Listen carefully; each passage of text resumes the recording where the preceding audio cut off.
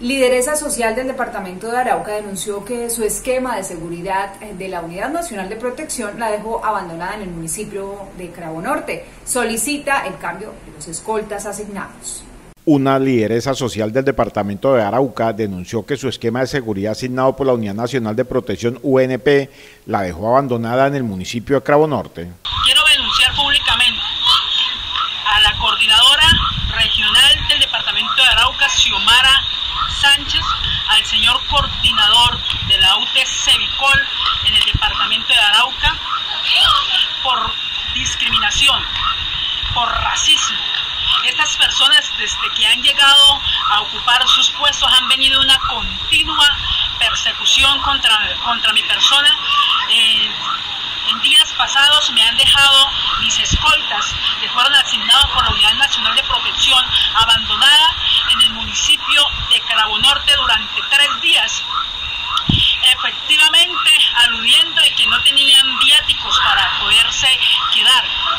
La pregunta es, señora Xiomara García, su persona como protegida la UNP tendría en su esquema a dos personas que la abandonen, su persona estaría a favor de una UT que ordena a sus escoltas abandonar a una protegida de la Unidad Nacional de Protección sin importarle el riesgo.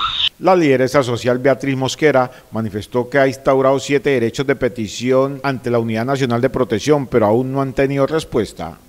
Aún en estos momentos yo he pasado siete derechos de petición a su oficina, a correspondencia de la UNP, y ninguno, ninguno se ha dignado a escuchar la voz de una mujer, de una mujer que ha venido peleando los derechos de las comunidades negras, de las mujeres en el departamento de Arauca, de las mujeres víctimas del conflicto. Y aún así, desprotegida y a nadie le ha importado. La lideresa aseguró que en estos momentos se encuentra sin esquema de seguridad porque no quiere recibir a los escoltas que la abandonaron en Cravo Norte. Efectivamente, efectivamente, la señora Xiomara eh, Sánchez alude que yo debo de recibir a las mismas personas que me abandonaron. Uno no puede andar con el enemigo.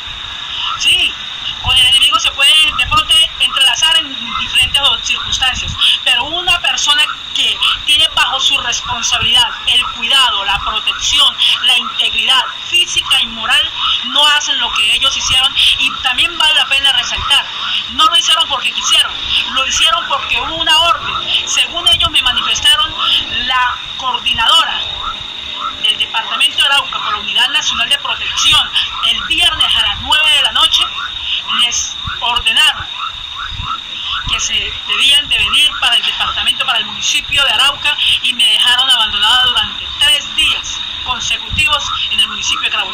Por último, dijo que tiene una persecución por parte de la Unidad Nacional de Protección en Arauca y el coordinador de los escoltas de la empresa contratista.